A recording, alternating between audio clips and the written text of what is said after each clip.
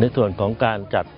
เทศกาลปั่นจักรยานเที่ยวจังหวัดอำนาจเจริญนะเนื่องจากว่าจังหวัดอำนาจเจริญเนี่ยแม้จะเป็นจังหวัดเล็กนะแต่เรามีนักกีฬาจักรยานเนี่ยที่ไปสร้างชื่อเสียงให้กับจังหวัดเนี่ยเป็นจำนวนมากนะที่ผ่านมาเราได้เหรียญทอง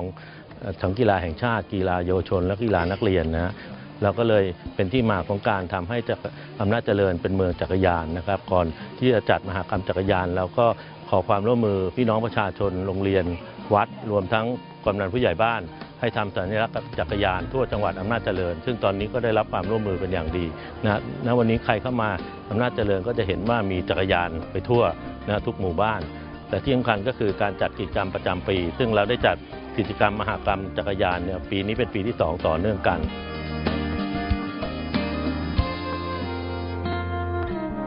ก็จะปั่น ผ่านพื้นที่ถึง 3อำเภอนะครับอำเภอเมืองอำเภอเสนาอำเภอชานุมานบางส่วน แล้วก็กลับมาขึ้นยอดเขาสูงสุดของจังหวัดอำนาจเจริญ คือภูสิงห์ภูผาพึ่งนะ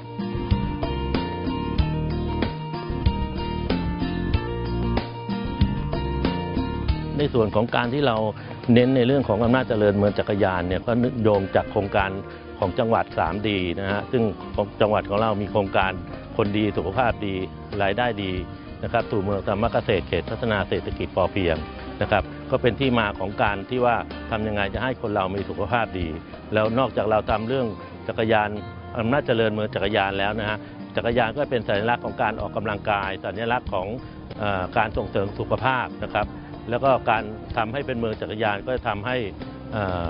การส่งเสริมการออกกำลังกายให้มีมากขึ้นในจังหวัดอำนาจเจริญครับ